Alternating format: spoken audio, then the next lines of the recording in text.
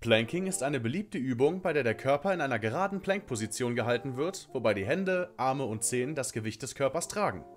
Sie wird oft in das Training integriert, um die Rumpf-, Oberkörper- und Unterkörpermuskeln zu stärken. Aber was passiert, wenn du jeden Tag eine Minute plankst? Eine Minute Planking jeden Tag kann ein guter Anfang sein, um diese Übung in dein Trainingsprogramm einzubauen. Planking ist eine relativ einfache und wenig belastende Übung, die fast überall durchgeführt werden kann und somit eine bequeme und einfache Möglichkeit ist, etwas Bewegung in deinen Tag zu bringen. Wenn du jeden Tag eine Minute plankst, kannst du davon ausgehen, dass sich deine Rumpfkraft und Stabilität verbessern.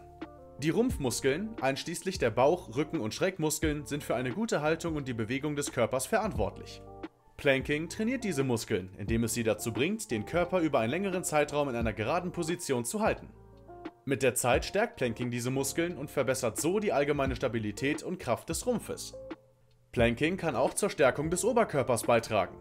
Die Arme, die Schultern und die Brustmuskeln werden eingesetzt, um den Körper während der Plankposition zu stützen.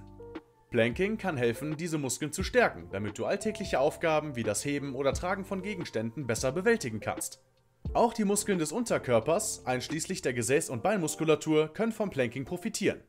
Indem der Körper in einer geraden Linie gehalten wird, aktiviert Planking diese Muskeln und trägt dazu bei, ihre Kraft und Spannkraft zu verbessern.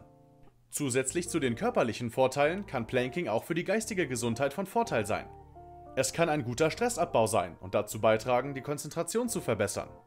Planking kann auch eine gute Möglichkeit sein, das Körperbewusstsein und das Selbstvertrauen zu verbessern. Es ist wichtig zu wissen, dass eine Minute Planking pro Tag zwar einige Vorteile bringen kann, aber nicht ausreicht, um signifikante Veränderungen bei Muskelkraft und Spannung zu erzielen. Um spürbare Ergebnisse zu erzielen, empfiehlt es sich, die Dauer des Plankings zu verlängern und andere Übungen in dein Programm einzubauen. Außerdem ist es wichtig, dass du auf deinen Körper hörst und nur das tust, was für dich angenehm ist, denn wenn du es übertreibst, kann es zu Verletzungen kommen.